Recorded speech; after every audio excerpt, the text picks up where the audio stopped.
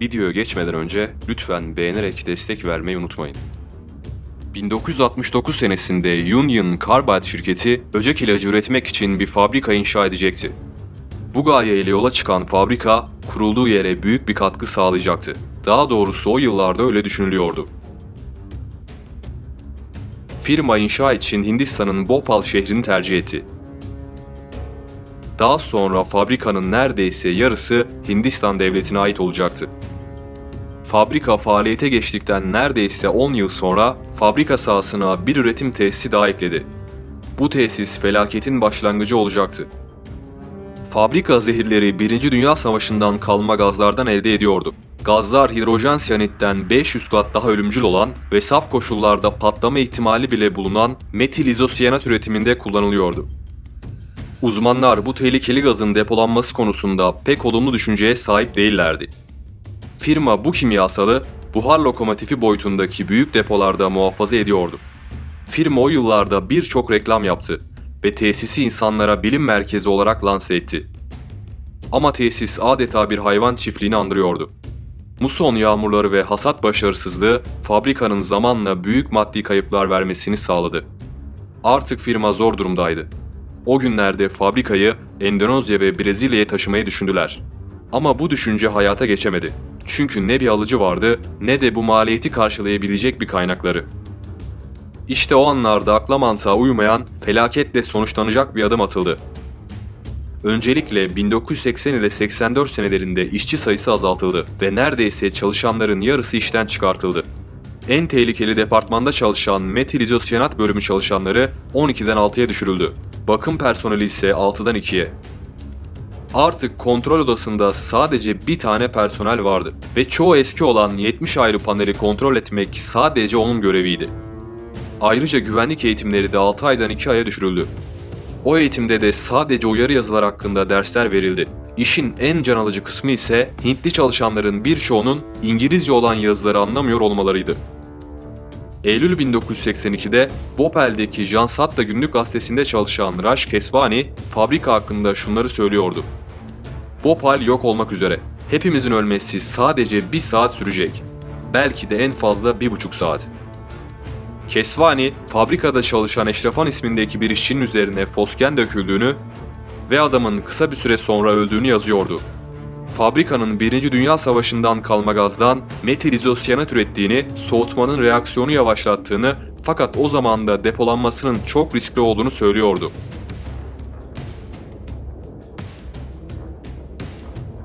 O tarihlerde diğer üreticilerden Baea, metil izosyanat kullanmadan aynı zehri üretiyordu. Fakat bu yöntem Bhopal'dakinden çok daha maliyetliydi.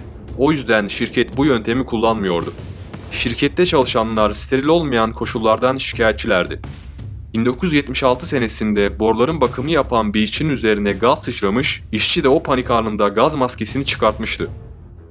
Ve iddialara göre adam 72 saat içinde ölmüştü. Firma ise bu olayın üstünü kapattırmış ve olayı halktan gizlemişti.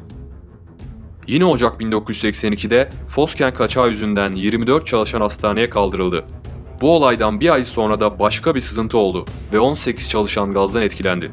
Aynı yıl bir mühendis de hatalı bir işlem sonucunda vücudunun %30'unu yaktı. Firmada sızıntılar hiçbir zaman bitmedi.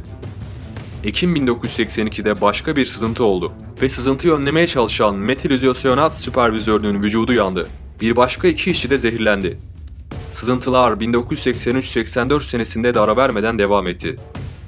Tesiste 3 yeraltı bölümü vardı ve içinde 68 bin litre depolama tankı barındırıyordu. Tanklar güvenlik ekibinin talimatları doğrultusunda yarıdan fazla doldurulmadı. Ekim 1984'te içinde sıvı metil izosyanat olan bir tank arıza yaptı. Çıkan bu arızadan sonra fabrikadaki metil izosyanat üretim tesisi kapatıldı. Ama bu sadece bir ay sürdü. Aralık 1984'te tesis yeniden aktif hale getirildi. Felaketin tarihi 3 Aralık 1984'ün gece yarısıydı.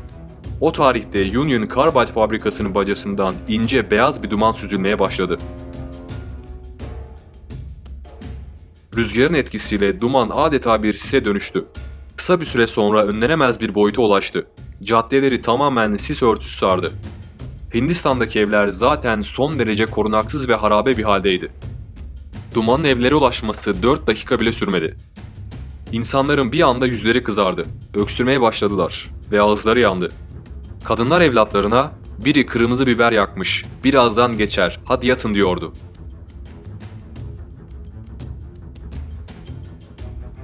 İnsanların mideleri yanıyor, nefes darlığı çekiyor, gözleri tahriş oluyor, boğulma hissine kapılıyor ve istifra ediyorlardı.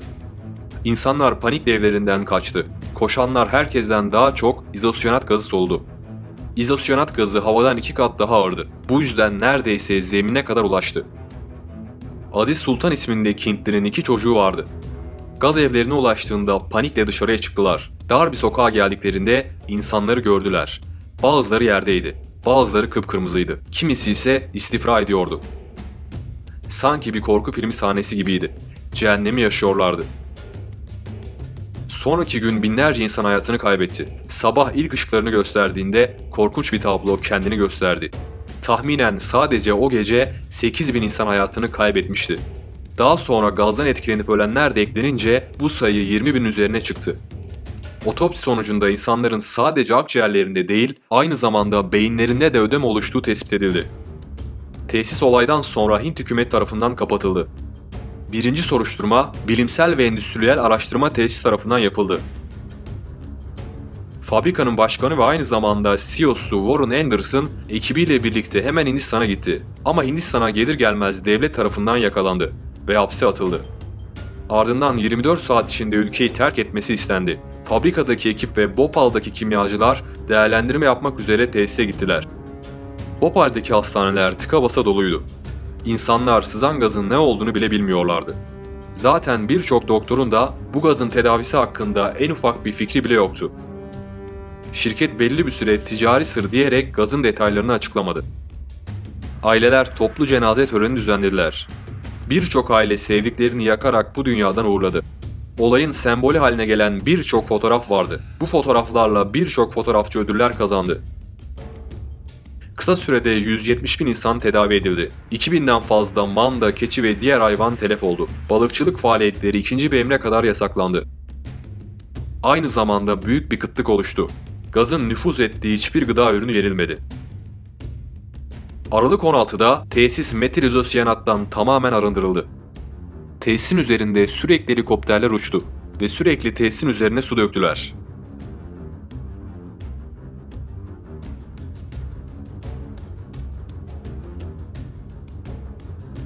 Bhopal'de yaşayan insanların birçoğu tahliye edildi. Sadece 200 bin çocuğun gazdan etkilendiği söyleniliyordu. Bu korkunç bir rakamdı. Belirli bir süre sonra artık havanın, suyun, bitkilerin ve gıda maddelerinin tamamen güvenli olduğu tüketilebileceği açıklandı. Ama çok net bir uyarı vardı. Asla balık tüketmeyin. Hindistan hükümeti yaralılar için bölgede bir hastane kurdu. Ardından bir klinik açtı. Ve en sonunda mobil bir sağlık ekibi kurdu ve ekibi şehirdeki hastaları bulması için görevlendirdi.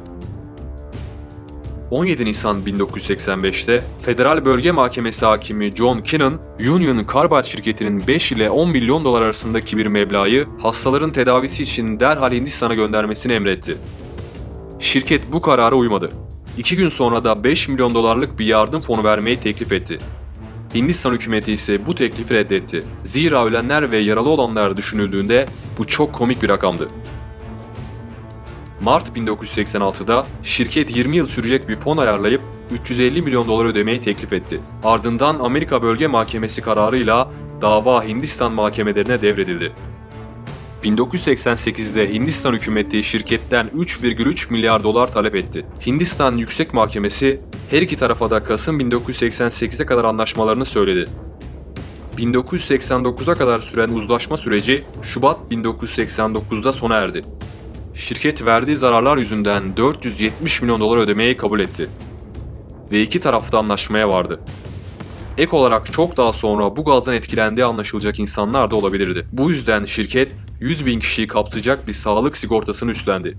Hindistan hükümeti gazdan etkilenen insanların tedavi edileceği bir hastane yapılmak üzere 17 milyon dolar daha talep etti. Şirket bu teklifi de kabul etti.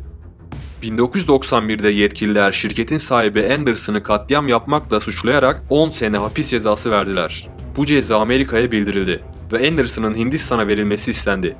Amerika Yüksek Mahkemesi bu isteğe olumsuz yanıt verdi Bu aynı zamanda Hindistan'daki mağdurların Amerika'dan bir tazminat talep edemeyeceği anlamına da geliyordu. 99 senesinde Greenpeace, fabrika çevresindeki toprağı ve suyu analiz etti. Suda Amerika Çevre Koruma Ajansı'nın sınırlamalarından 682 kat daha fazla karbon tetraklorür seviyelerine rastladı. İnsanlar hala o suyu içiyor, suda yıkanıyorlardı. Greenpeace 10 yıl sonra suyu yeniden inceledi ve bu sefer sınırın 4880 kat üzerinde karbon tetraklorür içerdiğini tespit etti. Geçen 10 senede sudaki zehir daha da artmıştı. Greenpeace olaydan 20 yıl sonra bölgede bir araştırma daha yaptı ve toprakta normalin 6 milyar katı toksik madde olduğunu tespit etti. Bu felaket 20 binden fazla insanı öldürdü. Yarım milyon insanı etkiledi. 150 bin insanın hayatlarının geri kalan kısmını sakat geçirmesine sebep oldu. 200 bin çocuk zehirli gazı teneffüs etti ve bu olayın izlerini ömür boyu üzerlerinden atamadı.